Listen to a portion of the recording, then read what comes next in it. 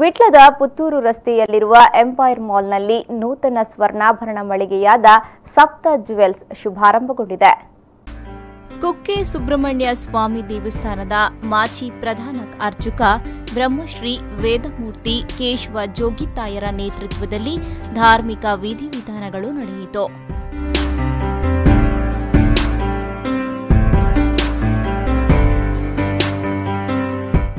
ಚಿನ್ನಾಭರಣ ಮಳಿಗೆಯ ಪ್ರಥಮ ಶಾಖೆ ಇದಾಗಿದೆ.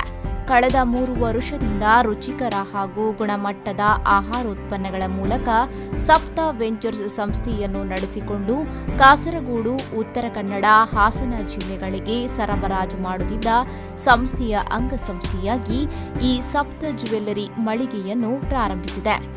ಎರಡು ಸಾವಿರದ ಹದಿನಾಲ್ಕರ ಅಕ್ಟೋಬರ್ ಮೂರರಂದು ಬಂಟ್ವಾಳ ತಾಲೂಕಿನ ಕೆದಿಲಾ ಗ್ರಾಮದಲ್ಲಿ ಆರಂಭಗೊಂಡ ಸಂಸ್ಥೆ ತನ್ನ ಉತ್ಕೃಷ್ಟ ಉತ್ಪನ್ನಗಳಿಂದ ಜನಮನ್ನಣೆ ಗಳಿಸಿದೆ. ಇದೀಗ ನೂತನವಾಗಿ ಪ್ರಾರಂಭಗೊಂಡ ಈ ಮಳಿಗೆಯಲ್ಲಿ ಸೇವೆಯಲ್ಲಿ ನುರಿತ ಆಡಳಿತಗಾರರಿದ್ದಾರೆ.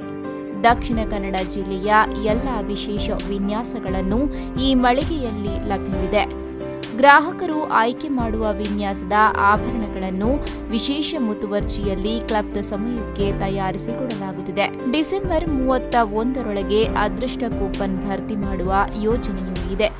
ಆರಂಭಿಕ ಕೊಡುಗೆಯಾಗಿ ವಿಶೇಷ ರಿಯಾಯಿತಿಗಳನ್ನು ಗ್ರಾಹಕರಿಗೆ ನೀಡುತ್ತಿದೆ.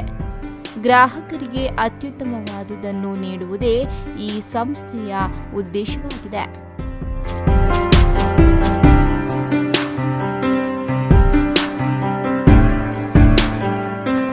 ಸಂದರ್ಭ ಸಂಸ್ಥೆಯ ಅಜಕ್ಕಳ ಶ್ಯಾಮ್ ಭಟ್ ಗೋವಿಂದರಾಜ್ ಭಟ್ ಕಲ್ಲಮಜರು ದೇವಿ ಪ್ರಸಾದ್ ಚಂಗಪ್ಪಾಡಿ, ಶಿವಪ್ರಕಾಶ್ ಭಟ್ ಪಂಜಿಬಲ್ಲೆ ಕೃಷ್ಣ ಪ್ರಸಾದ್ ಭಟ್ ಕಡವ, ಸುದರ್ಶನ್ ಕುಮಾರ್ ಇರ್ಕ್ಲಾಜೆ, ಪ್ರಶಾಂತ ಸರಳಾಯ ಹಾಗೂ ಸುಕುಮಾರ್ ಭಟ್ ಕಲ್ಲಮಜರು ಉಪಸ್ಥಿತರಿದ್ದರು.